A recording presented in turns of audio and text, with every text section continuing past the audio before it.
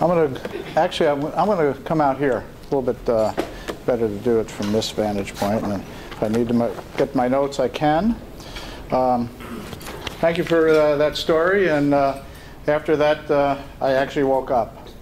um, actually, uh, when I was in New York, I was playing uh, some three on three one afternoon with some students. And after the particular game, games we played, there was a uh, young man who uh, we call when we were upstate New York coming from downstate. I grew up in New York City, so every, anything uh, above Westchester County was upstate.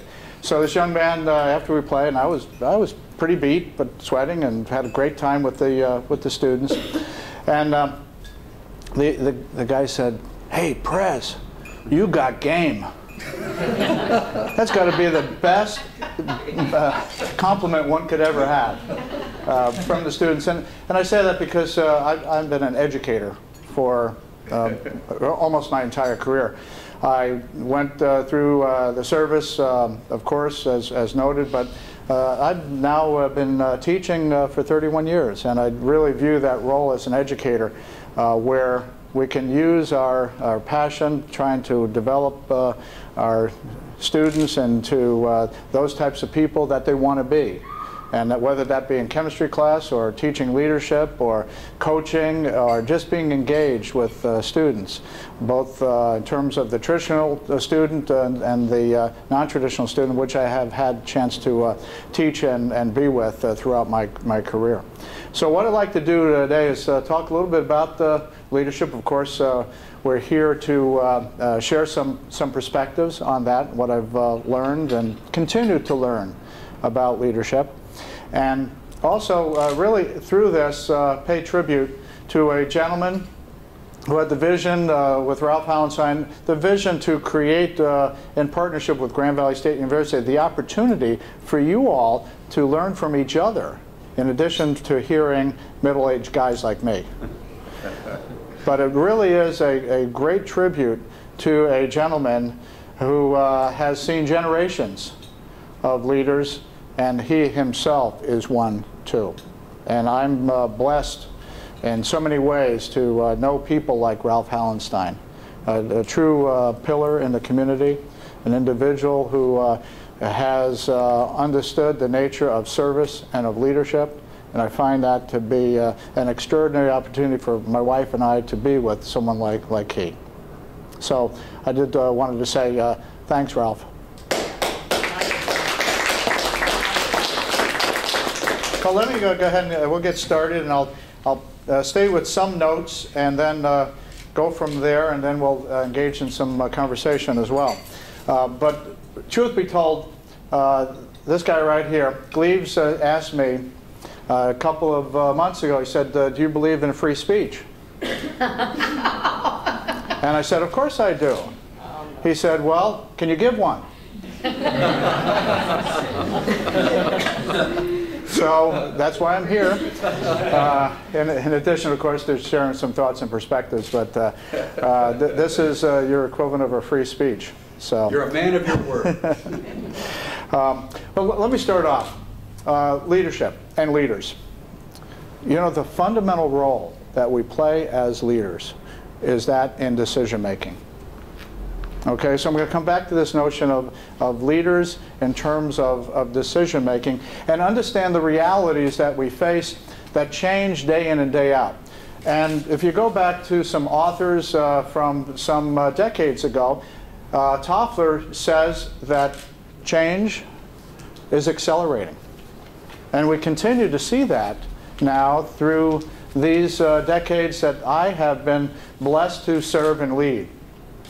But he really has uh, hit it on the nose many years ago and continues to be very prophetic when he talks about change.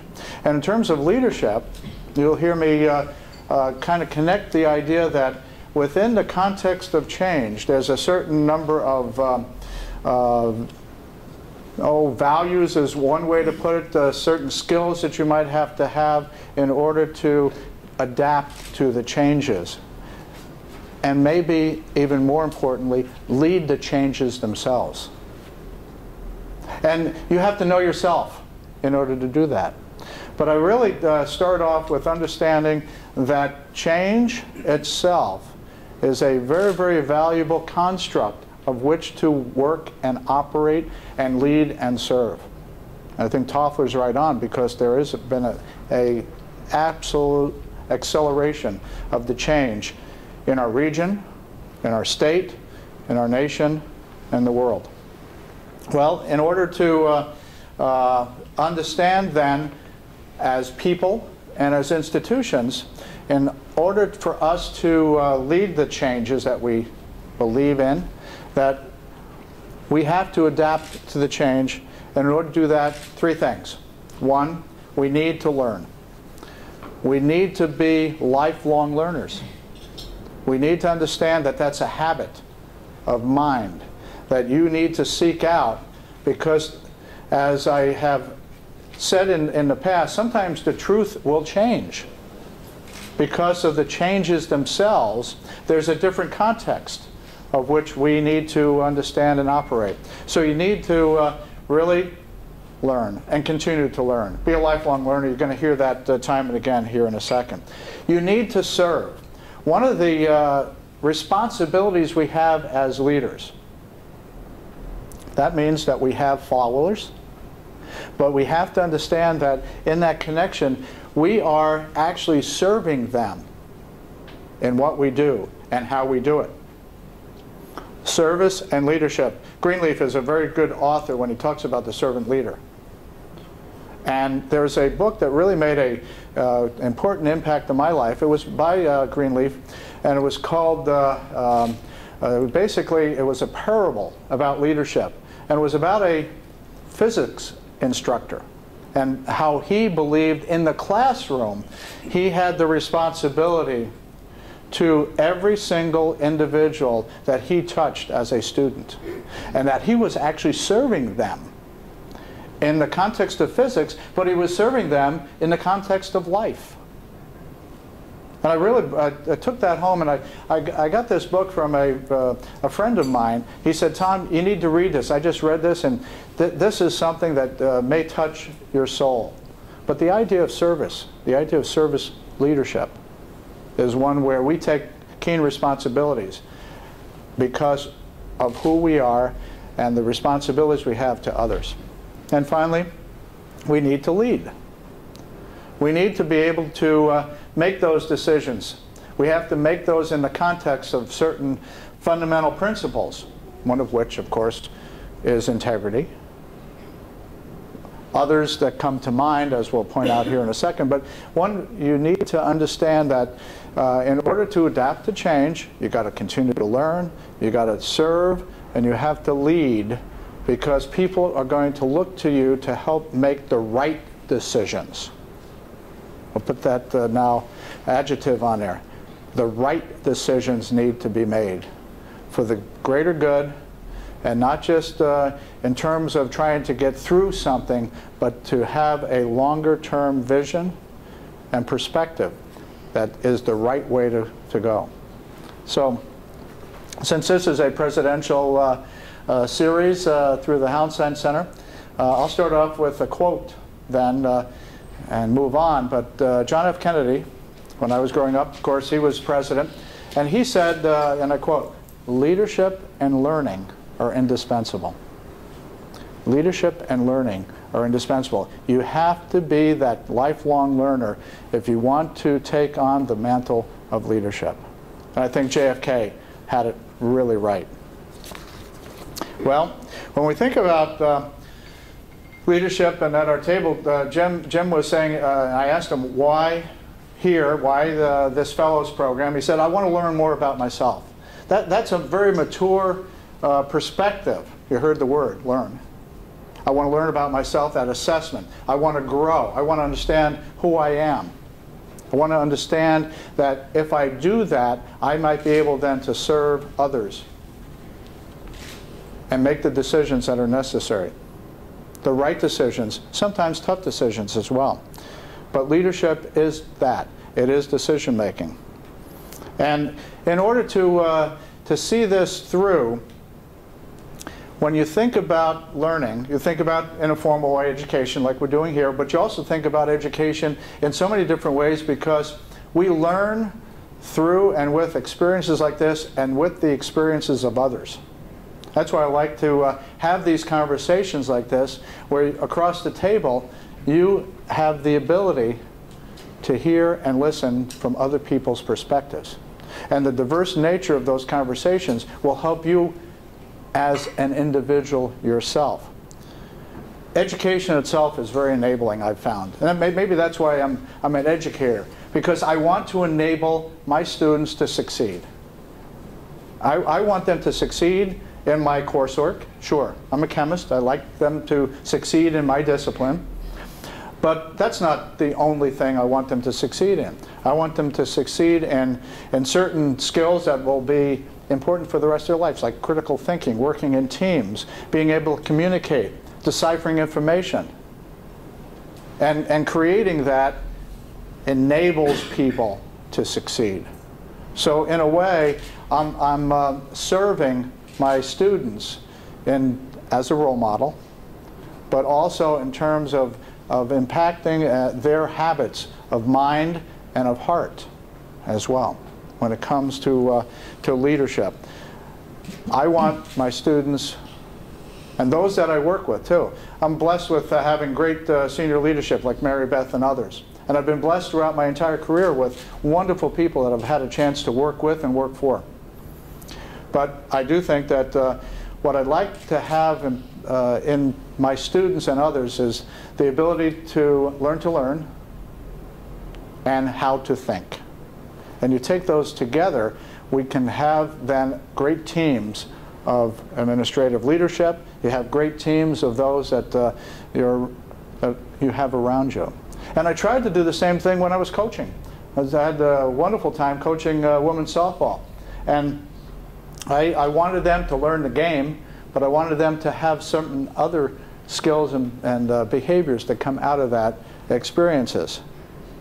And in sport, as in other types of uh, passions, music and theater and, and other types of, uh, of performances, you need to learn the game, you have to learn to learn, you have to learn how to think, and then you can perform.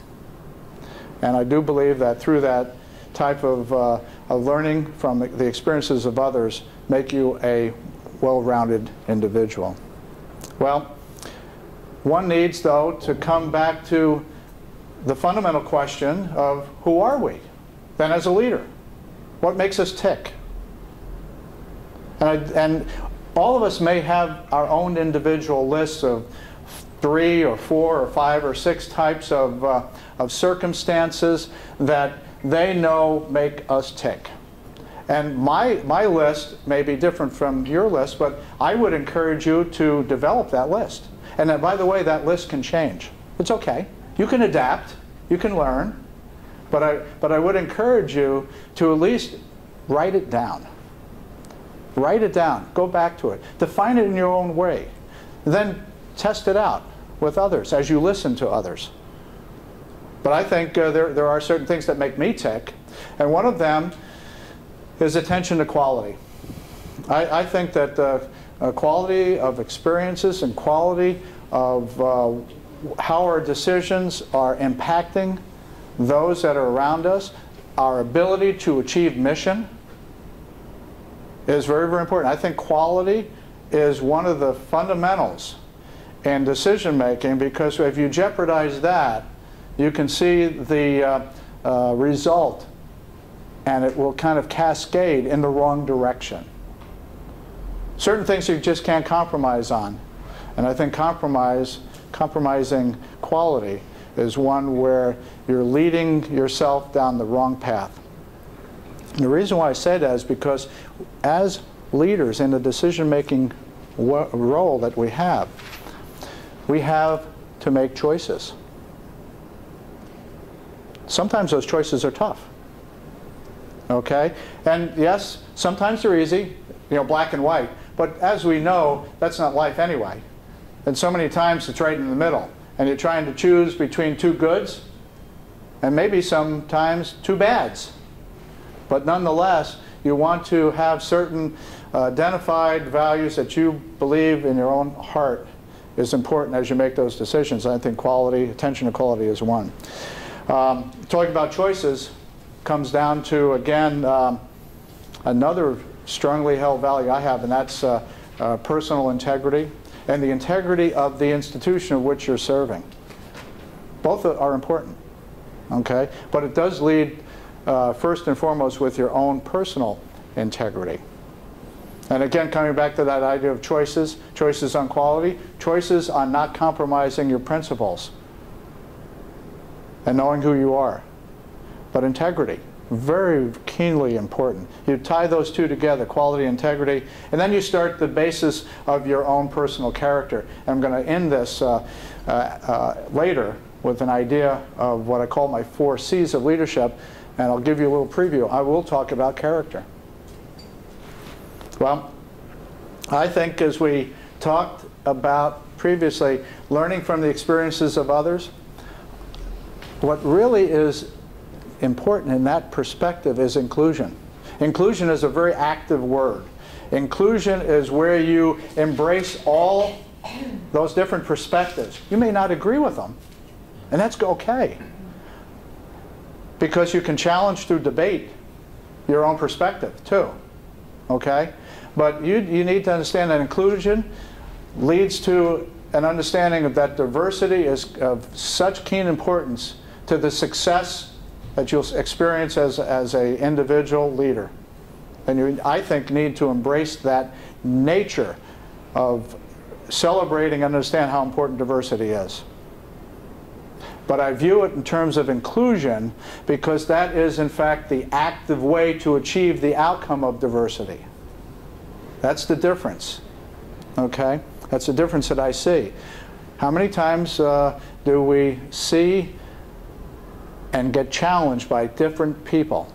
And when we embrace the idea of inclusion and diversity, we get to be a better, more well-rounded individual because of that. Okay? And as you think about inclusion, the next piece to this, I think, is uh, kind of uh, uh, a, a, logical next step. I, I enjoy people. Always have. In fact, I learned more about enjoying people through my wife. My, my wife is a natural affiliator. Okay, Marcia is wonderful. She, she, will, she will just gravitate to people. I love watching her and seeing that. She, she really taught me a lot. And part of that uh, is uh, by being who you are and being very collaborative in who you are with others. So you take into account now quality and integrity, you move it into the idea of, of inclusion and, and understanding that uh, collaboration leads to effective teams, but it also leads, I think, to understanding that there are differences, that uh, through collaboration, uh, you are really understanding how to respect each other too. There's a certain uh, uh, term of art that I've used time and again, and, and that is uh, uh, through your leadership, you have to respect the human dignity of others. Must do that, okay? You must do that. And you do that through getting to know other people. And when you do that, you do that through conversation. You do that through the experiences that, that uh, people share with you. But collaboration is of, of keen importance to me. And I saw it again with someone who was so natural at it, with, with my wife, and seeing her in her leadership roles too, and be very, very effective in what she has done through her uh, lifetime too. I mentioned that uh, I, as an educator, uh, I believe uh, so much in lifelong learning. Um, the ability for us to continue to uh, learn from uh, others, to adapt to certain situations. I, I think that uh, learning, and in a way, as you are a leader, one of the responsibilities you have is to teach others too. We, we are leaders who have then that responsibility of sharing some of those lessons learned that we have, just like this today. I was thrilled to get the invitation for this free speech. To share some of these uh, share some of these these thoughts, and then to expand that out. As the role of uh, an educator, uh, we we need to then to continue to share what we are and who we are. And finally, I think that uh, I like the idea of planning and accountability. Uh, this is kind of uh, an interesting part to the story. You know, uh, who's uh, done Myers-Briggs in here? Anyone do Myers-Briggs? Few of you. It's, a, uh, it's an assessment of personality traits, and there's others that are on the market right now. Well, whenever I do cer certain of these instruments, it comes out that I'm a strategic thinker and I'm a planner. I like data, maybe because I, am a chemist, because I can use the data to actually argue my point. But uh, it comes down to uh, one of my, I guess, just internal instincts is to, is to plan. Whenever I uh, did my coaching, I had my minute by minute by minute what I wanted my students to do. In my syllabus, I had it laid out because I want minute by minute. Okay, but I wanted to understand that there were certain outcomes, certain results that I wanted. In order for me to achieve it, I had to have a plan. I had to have a vision. At the end of the, uh, at the, end of the season, I wanted uh, to have a successful uh, performance by my student athletes. And we set up together what that definition would be. And then we figured out the plan to get there. So you have to have uh, uh, the, uh, the vision. You need to have uh, a certain set of values that underscore that. I do think that you have to uh, have some strategic thinking that goes along with the planning features. What I mean by that is think about different uh, um, indications of success early on, or as, as uh, uh, Covey would say, begin with the end in mind. That's my favorite. Okay? Uh, Covey is a, is a wonderful author, and he talks about this, the seven habits. Now he has a book out a couple years ago called The Eighth Habit. But he talks about begin with the end in mind. I think you do that with, with planning, and we do that with an implementation of the plan, and then you have to assess. Can we do it better? But you assess, but you also have one additional feature to this, and that's called accountability. Uh, one that uh, my, my staff understands uh, that, and we, we, we, we uh, collectively embrace the idea of accountability. From the quality all the way to accountability. When I talk about accountability, what I'm really talking about is a, is a different model of the chain of command. And a chain of command from the military construct is you have a guy up here, and a guy up here, and a guy up here, a guy up here, and a guy up here. And you, you talk about an up and down circumstance. Now, I believe in accountability uh, for the responsibilities that we have to each other and to the mission. But the construct that I was brought up on was this linear, vertical accountability model. But through the years, it just didn't make sense to me because all you saw was the person in front of you or the person that was underneath you. And that didn't fit with me. So I said, this, I, I want accountability because I believe in it, because there's uh, certain things that people expect of us as leaders. So flip it over on its side. You can still have a chain of command, but now what you do is you're now focusing not on the person in front of you or the group in front of you, or behind you, and not worrying about people or groups that are further out. But what you do is you put it on its side, and then what do you have focused in on?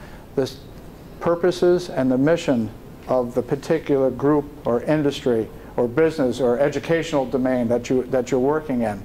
And what you're focusing in on then is the ability for everyone across an organization to lead themselves to take the initiative, to understand that they have a responsibility and they have the, the opportunity to help fulfill the mission. That to me is such a stronger way to understand accountability in a, in a different way, a horizontal way.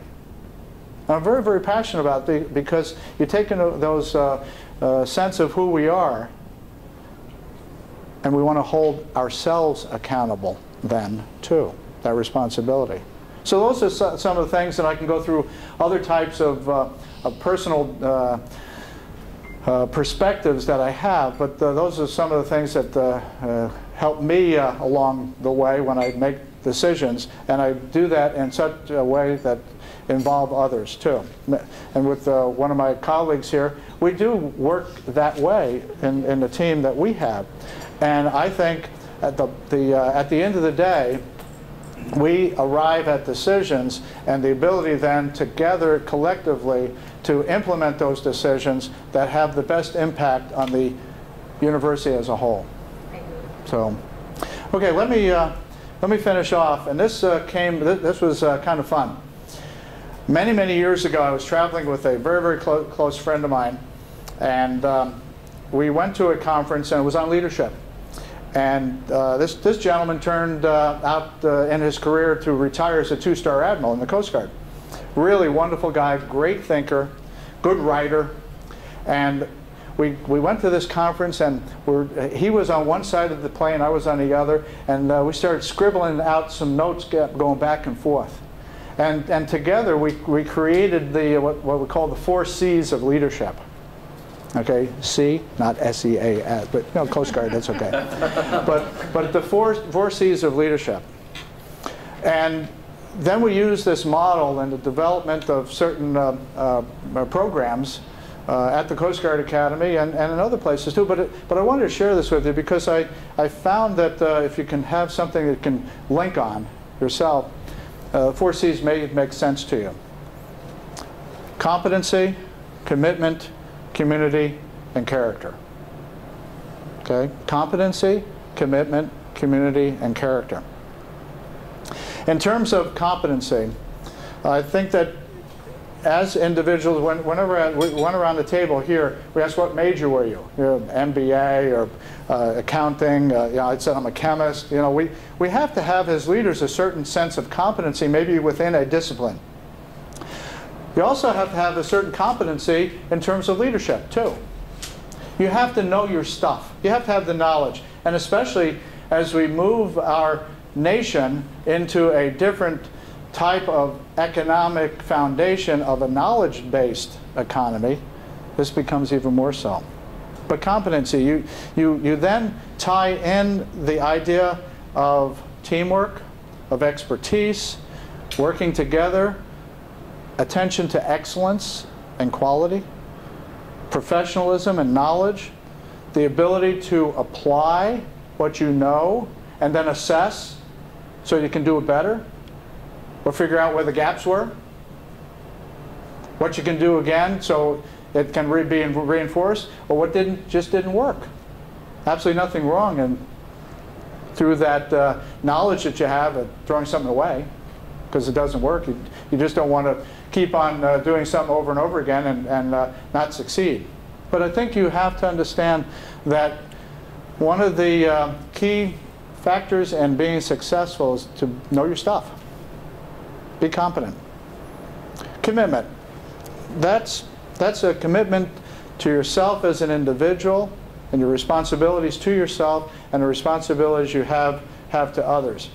The reason why I talk about commitment ties right nicely into responsibilities because from the commitment to each other, you are really developing a trust. Part of that commitment then, therefore, is underscored by integrity.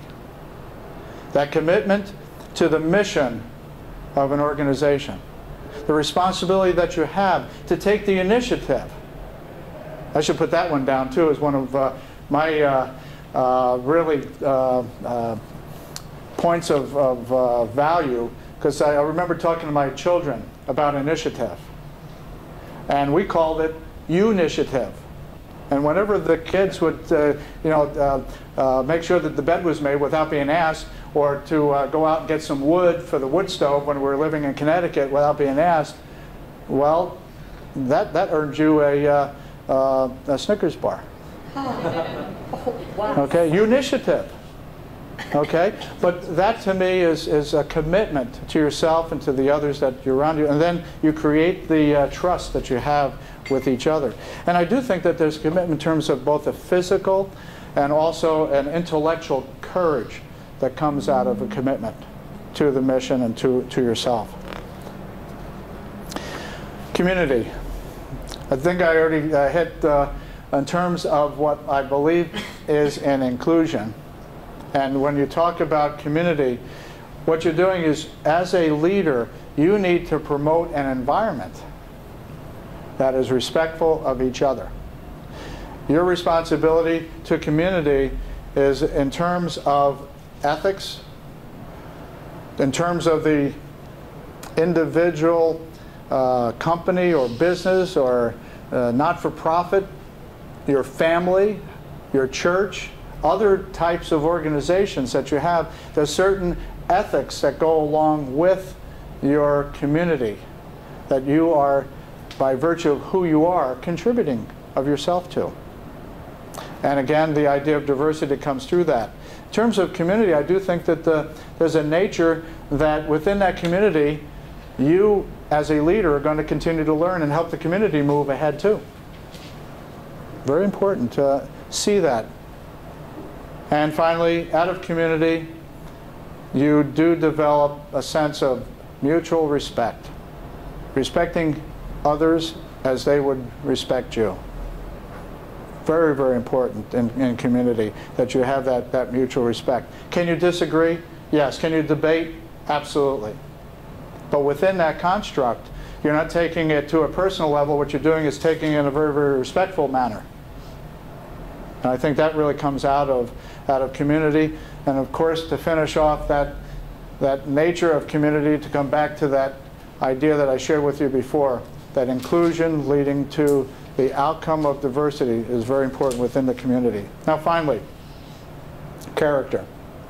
Character is what sets you apart from everyone else. It's who you are. And you own that by virtue of the values that you have, how you conduct yourself with each other. It really does set yourself apart. And I think that uh, from character, you have then developed uh, that intellectual moral reasoning that is healthy. Because through character, you have to understand that the right things are what is critically important when you make decisions. Character was what sets you apart. You, you have to have some common sense. That's who we are at times as, as quote unquote characters. But nonetheless, common sense is a good trait to have within your own personal construct of character. I think you have to be committed to your own lifelong learning and development. I think you have to have accountable behavior as a person of character. You have to take on civic responsibility as well because as a person who lives in this great nation, as a leader and as a servant leader, you can take those, those uh, um, leadership characteristics and help others uh, move our country in the direction that we want it to be. Regardless of whether whatever aisle you're on, it doesn't matter. As long as you take that civic responsibility on as your own and carry it forward and be a role model to others, others amongst your, your, your age group and peer group, and those uh, uh, children that will look up to you in your coming years? Well, four C's. Uh, competency and commitment and community and character. Just to kind of uh, keep that in mind as you go about your day-to-day -day business. Well, let me finish off. With this uh, fellows program, I, I see in uh, Ralph Hauenstein the nature of this program and how he has uh, really put himself into this opportunity for you. Because if you talk to Ralph, and we've been blessed to have chances to talk with Ralph, you know, one of the things I found out about Ralph, he aims high. Okay? He really aims high. If you can just think about that for a minute, he had, has had 96 years, and you know, he's still looking ahead. He's still looking ahead.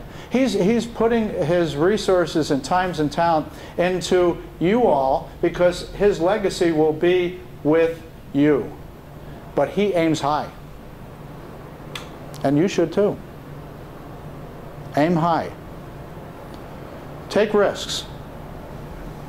I think that, uh, again, uh, through, uh, uh, through Ralph, throughout his years, I am sure that he took risks, whether it be through his service to this country and then as a business leader. He took risks. So he aimed high, took the risks, and they were calculated risks. Yes, he wasn't going to do something real silly, but he did take the risks in order to make things better for his family and for his community. He took that civic responsibility to, to, uh, to, the, to the best extent that I have ever seen in anyone. And then, as Ralph uh, would uh, be quick to uh, align himself with some of my, my uh, feelings, learn and continue to learn. Ralph is still learning. It is wonderful to sit down with him and talk about uh, the uh, current political uh, circumstance and what he thinks about uh, the future with uh, our presidential candidates and vice presidential candidates and, and seeing how this all, all fits. Talking about the future with Ralph is talking to someone who has learned all along the way and continues to do just that. And I do think that uh, Ralph is one, and I've seen this too, he celebrates successes. Doesn't, doesn't he? He, he loves to see people succeed. That's why I think he, he likes to commit his time and talent and treasures to opportunities like this. Ralph Hauenstein likes to see people succeed, and then he wants to celebrate those successes. I see that. I see that with him. So let's, let's take some lessons from, uh, from uh, Ralph Hauenstein. Aim high take some risks, continue to learn, and celebrate successes. To finish off, ever uh, we're, we're, in the in the fall now, almost fall. Felt like it this morning, but uh, there there's uh, some geese that uh, usually head south at this time, right? You, you've seen the V of geese, right? We, we should take some lessons from the geese. You ever see what geese do? They, they fly in that V, they have a horizontal construct. There's a leader out there. And he's got all his budzos on his wing. Not, not this way, but this way. That lead goose out there is working hard. But he also has all the others on this, on this horizontal plane helping out each other that is following them. Right? Now think about it. You, you've seen them. When you go out this afternoon, take a look, see if they're going south. Now what happens? Well, once in a while that lead goose has to do what? He, they go out and uh, kind of go uh, back in the, uh, in the flock, and someone else comes up. Well, that, that uh, next goose that's coming up has been learning from the lead goose. Now they're going to take the responsibility for the others that are on the same plane. They have a vision. They need to go south. They have an implementation plan, too. They're going to get there, and they're going to start it all over again the following year. There's a lot to learn from watching the geese. Thank you.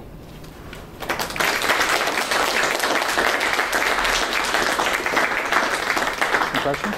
Take a question? Sure. I don't know how I'm doing on time, but You're doing great. okay. Be glad to answer anything that you have.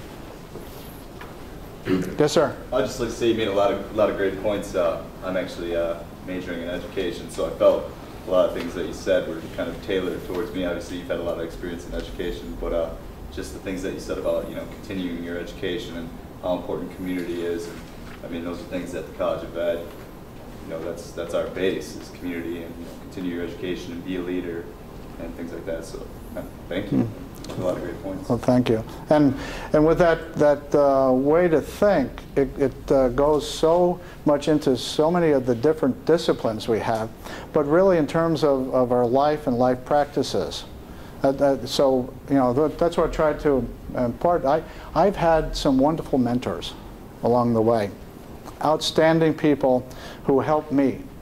Um, and sometimes, uh, you know, got, got me a good uh, kick in the butt, too. And, and that was good. I like that. But I've had such wonderful mentors. I've been uh, truly blessed uh, in that. And so, what I hope to have uh, uh, shared with you is uh, take your responsibility to yourself and those uh, that are around you as you grow in your paths, wherever it might take you, whether it be in education or in business or in not for profit, within your families, within your communities. Take those responsibilities. We, we've been blessed as individuals, and we need to uh, uh, make sure that we then have, uh, actually, I think we have the obligation to serve. Okay? Questions? Other, yes, ma'am. Well, it's not a question, but I like the story you said at the end, and it kind of ties up with um, the story that Gleaves told us at our retreat.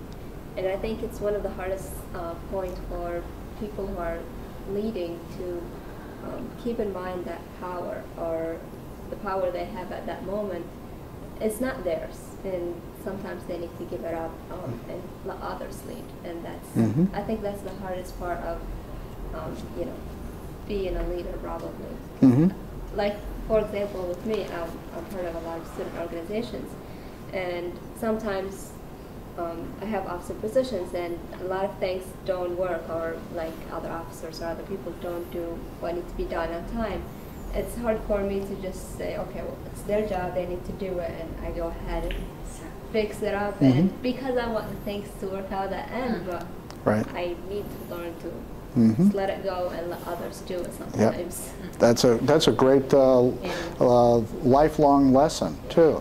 That if you if you do let it go at times, and then you have developed those that are around you, as a leader, remember the role of teacher, and um, then let it go. And in fact, you know what we get hung up on more than anything else. I remember doing this. I got frustrated early on in my leadership path pathways to where I am right now. I, I did get frustrated. I wanted it done this way. You know something? Sometimes it doesn't matter if you get it done this way, as long as you get it done in the right way. Okay?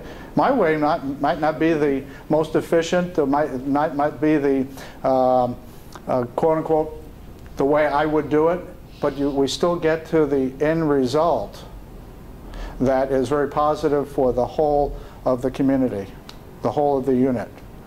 Okay, but to uh, that that's an important life lesson. Sometimes you do have to just give it up. There's there's a chemistry principle. Any chemistry in here? Any any other chemistry people in here? There's a chemical engineer. There's there's a certain thing called a state function in chemistry, and a state function means you know where you start, you know where you end, and any pathway can get you there. Some Some's going to be linear. Some may go about different ways to circuitous pathway to get there. But you know, at the end of the day, it doesn't matter. How you, it, it may be more inefficient and ineffective uh, along the way, but it wasn't the path as much as knowing where you are, know where you want to be. Sometimes you got to give it up. That's a good life lesson. It's very mature. Thank you for sharing that. Yes, Selma. I, first of all, thank you for, for coming to see us today. We really appreciate it. We enjoyed the very substantive uh, speech that you've given us. Um, I, I, I was sitting here and I had a, had a whole sort of cadre of questions um, that I was thinking, and I, and I said I was only going to ask one, but um, it, it changed when you when you spoke with Petra here, and you and you mentioned the idea of obligation. Um, and I was thinking about the university and considering sort of um, the, responsibility that, that, that students have to sort of their communities and I was I was hoping maybe you could sort of speak on that because you, you look at folks that are sort of in our generation and, and my particular area of, of interest is, is sort of Michigan politics and, and Mhm. sort of the, the well-being of the state in general and, and seeing sort of the brain drain and that sort of thing. Now, how does Grand Valley sort of fit in that mold and where does Grand Valley see itself serving the state best Mhm. with you know sort of developing this leadership right here in this room to make sure that we're on a good path say Great. 20 years from now? Great question, Selma. Thank you. When you look at our mission as a university, and we're a public university, okay, so we have certain obligations to uh, those that are supporting us through taxpayers' dollars, and of course those that, uh, like you all, with your tuition dollars. You focus in on, on that mission. One of the uh, attractions for me when I um, was being attracted to Grand Valley State University was one word, There's one word. That one word was in the mission. It was called shape. Shape.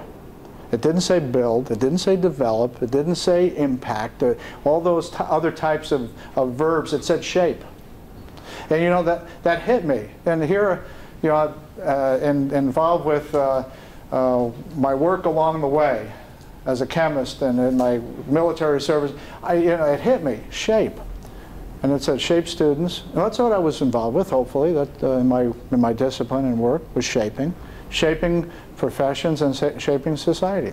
So what we have as a mission is a very, very noble mission as an institution to shape.